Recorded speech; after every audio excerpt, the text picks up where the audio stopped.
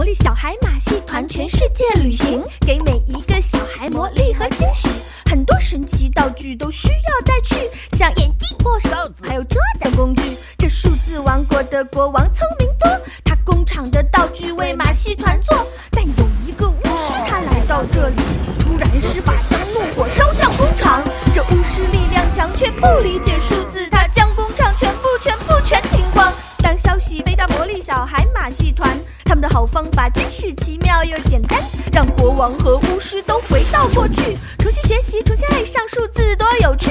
他们要看，要念，要学，要用真心对数字的爱，他们将齐心协力。来吧，魔力小孩，助我们一臂之力，加入这充满魔力的数字。